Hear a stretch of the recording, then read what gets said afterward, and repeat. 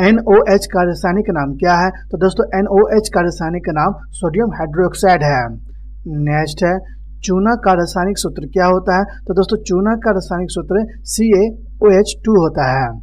Next है C H four का रासायनिक नाम क्या है? तो दोस्तों सी एच फोर का रासायनिक नाम मिथेन है।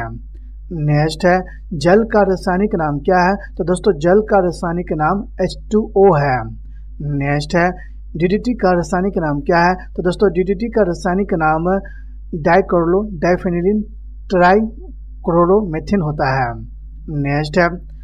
धोबिया सोडा का रासायनिक सूत्र क्या होता है? तो दोस्तों, धोबिया सोडा का रासायनिक सूत्र Na2CO3 होता है।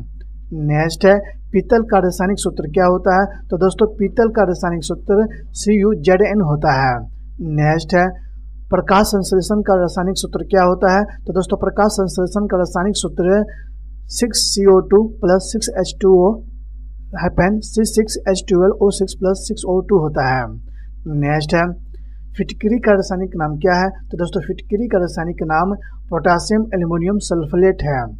नेक्स्ट है, फिटकरी का रासायनिक सूत्र क्या होता है? तो दोस्तों, फिटकरी का रासायनिक सूत्र K L L S O four two होता है into twenty four H two O होता है।